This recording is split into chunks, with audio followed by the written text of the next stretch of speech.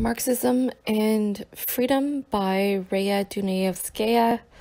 Uh, this is the introduction. This is a quote from Karl Marx. Freedom is so much the essence of man that even its opponents realize it. No man fights freedom. He fights at most the freedom of others. Every kind of freedom has therefore always existed, only at one time as a special privilege, another time as a universal right. Um, this is a quote by Hegel. When individuals and nations have once got in their heads the abstract concept of full blown liberty, there is nothing like it in its uncontrollable strength, just because it is the very essence of mind, and that as its very actuality. If to be aware of the idea, to be aware, i.e., that men are aware of freedom as their essence, aim, and object is a matter of speculation. Still, this very idea itself is the actuality of men, not something which they have as men, but which they are. Uh, introduction. Today, in the face of the constant struggle of man for full freedom on both sides of the Iron Curtain, there is a veritable conspiracy to identify Marxism a theory of liberation with its opposite, communism, the theory and practice of enslavement. Hmm. This book aims to reestablish Marxism in its original form, which Marx called thoroughgoing naturalism or humanism. Hitherto, the American roots of Marxism have remained hidden. It is known, although not widely, that Marx aided the North during the Civil War in the United States Less well known is the fact that the paths of the abolitionists and Marx crossed at that time. What is not known at all is that under the impact of the Civil War and the subsequent struggles for the eight hour day, Marx completely reorganized the structure of his greatest theoretical work, Capital. This is analyzed here for the first time. Our epoch has been characterized by a struggle for the minds of men unless this struggle begins with a concept of total new relations of men to labor and man to man. It is hollow. The todayness of Marxism flows from this. No philosopher has ever had a grander concept of humanity than did Marx, and yet no philosophic concept was ever rooted more deeply in the first necessity of human society labor and production. The fact that the H bomb has put a question mark over the very survival of civilization does not change this. The answer to that problem is not in today's headlines, it is in production. That is what makes Marx so contemporary.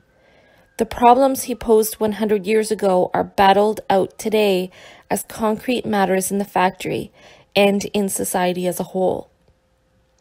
Until the development of the totalitarian state, the philosophic foundation of Marxism was not fully understood. Only today is it possible to comprehend that Marx's rejection of the communism of his day was not a 19th century humanitarian adjunct to his scientific economic theories.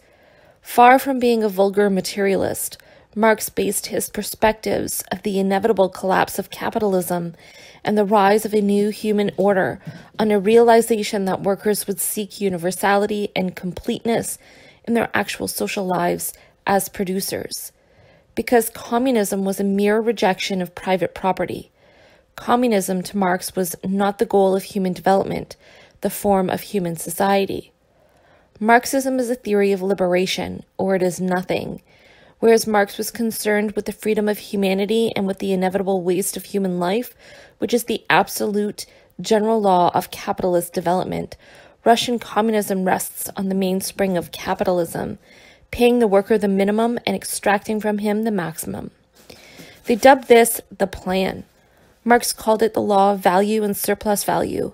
He predicted that its unhindered or unhindered development would lead to the concentration of capital in the hands of a single capitalist or a single capitalist corporation.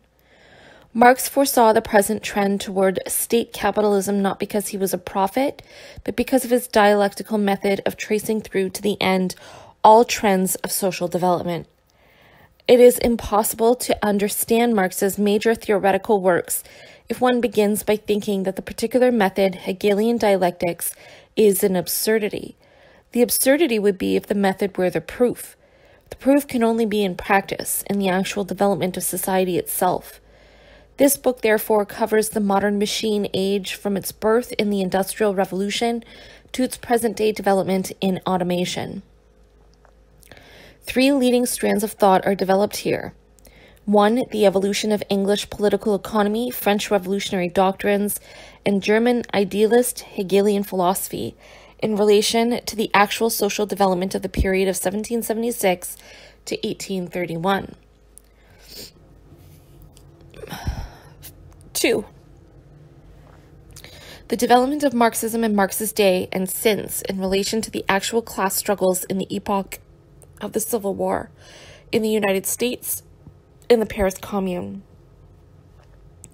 as well as World War I and the Russian Revolution. Three, the methodology of Marxism applied to the problems that arise from the trend towards state capitalism on the one hand, and a movement for total freedom on the other the unity of theory and practice, which characterized the 40 years of Marx's maturity, 1843 to 1883, is the compelling need of our own epoch as well.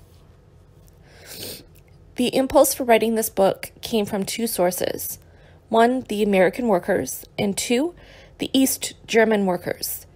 It was the period of 1950 to 1953, the period of the Korean War and of Stalin's death, during those years, the American workers, specifically the miners and auto workers, began to come to grips with the realities of automation by moving the question of productivity from one dealing with the fruits of labor, wages, to one dealing with the conditions of labor and the need for a totally new way of life.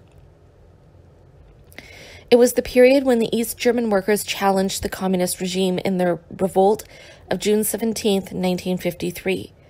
A revolt in the slave labor camps of Vorkuta inside Russia itself followed within a few weeks.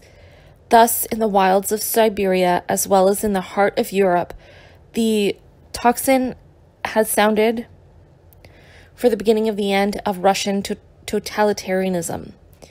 From the philosopher in the ivory tower to the man on the street, the world is preoccupied with this question Can man be free in this age of totalitarianism?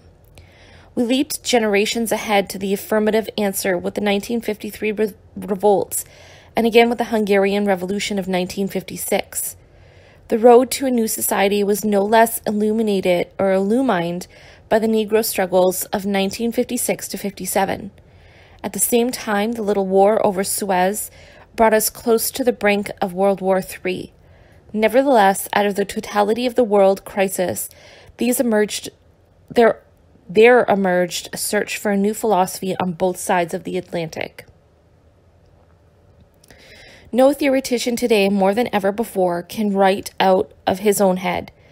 Theory requires a constant shaping and reshaping of ideas on the basis of what the workers themselves are doing and thinking. The research for this book, for example, on the transformation of Russia from a workers' state into its opposite, a state capitalist society, began at the outbreak of World War II. Scholars, some who did and some who did not, agree with my conclusions, took part.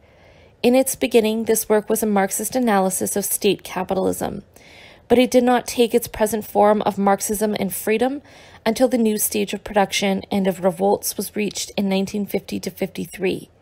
Because we live in an age of absolutes, on the threshold of absolute freedom out of the struggle against absolute tyranny, the compelling need for a new unity of theory and practice dictates a new method of writing. At least, it dictated the method by which this book was written.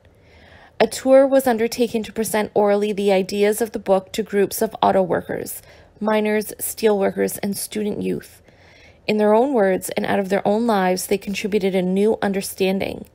A West Virginia miner, for example, modest about his own understanding of Marxism, took freedom out of its abstraction and gave it concrete meaning. I've listened to you discussing that fellow Marx, he said.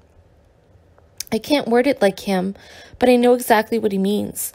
I lay there this morning about a quarter of six. I looked out the window. I said to myself, You just got to get up there and go down, whether you feel like it or not. I didn't even speak it to my wife. I just said to myself, Now you call that a free man? After these discussions, the first draft, draft of the book was written. The manuscript was then submitted to some of these groups for study, and over a period of three months, their discussions were taped. Again, the author studied the discussions carefully, revised the first draft, draft, and undertook a second tour for extensive personal discussions, some of which are reproduced in the text. Only after these extensive discussions was the book in its present form finally written. This work is therefore dedicated to the auto workers, miners, steelworkers, and student youth who have participated so fully in the writing of this book. They are its co authors.